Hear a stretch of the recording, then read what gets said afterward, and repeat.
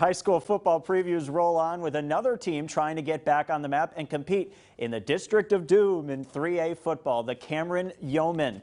With the addition of Franklin into District 11 of 3A Division 1 football, the Cameron Yoemen have an even tougher hill to climb in 2022 if they're going to compete for a district championship. The Yoemen have a new group coming in with 10 starters returning, seven of those on defense. Braylon Drake and Charlie Meyer look to lead this new group, and Cameron High is ready to face off against the best of the best.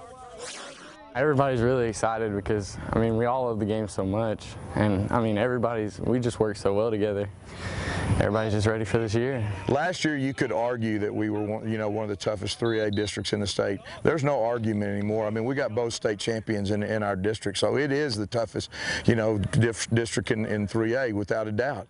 But you know what? What I've told the kids, with my attitude, and, and what the kid, the attitude the kids are taking is, if you're going to be the best, you got to beat the best.